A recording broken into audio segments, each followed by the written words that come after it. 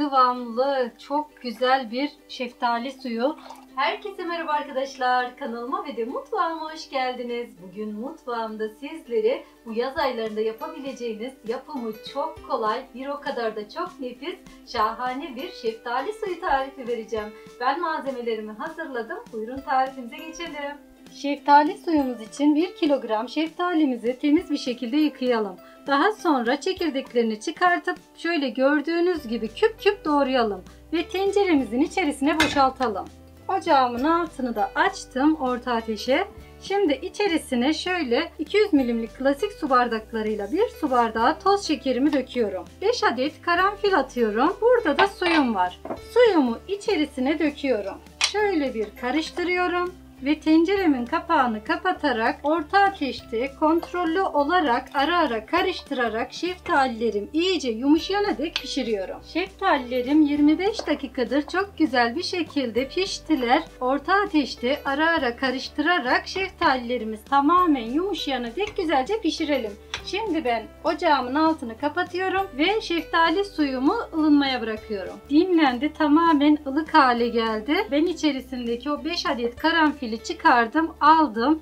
Şimdi içerisine şöyle bir orta boy çay bardağı taze sıkılmış limon suyu katıyorum. Karıştırdım. Hemen el blenderımı yanıma alıyorum ve blenderdan güzelce geçiriyorum. Blenderdan çok güzel bir şekilde geçirdim. Arkadaşlar şimdi hemen süzme işlemine geçebiliriz. Arkadaşlar şimdi süzmek için şöyle ince bir tel süzgeçten güzelce şeftali suyumuzu bir kabın içerisine süzelim.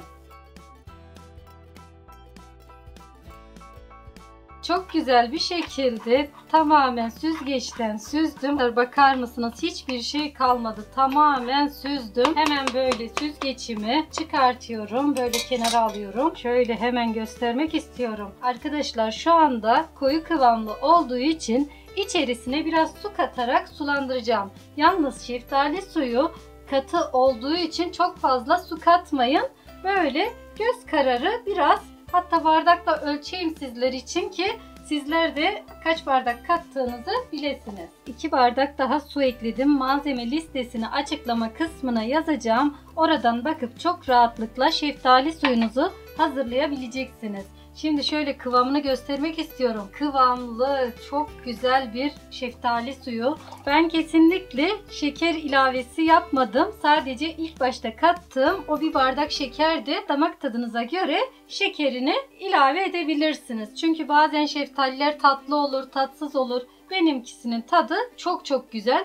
Şöyle hemen bardağıma da doldurmak istiyorum. Bu yaz aylarında yapabileceğiniz böyle tam da şeftalinin bol mevsimindeyken hazırlayabileceğiniz nefis bir içecek. Mutlaka deneyin. Şimdi ben bunu buzdolabına kaldıracağım. İyice soğuduktan sonra afiyetle içeceğiz. Kendinize iyi bakın. Hoşçakalın.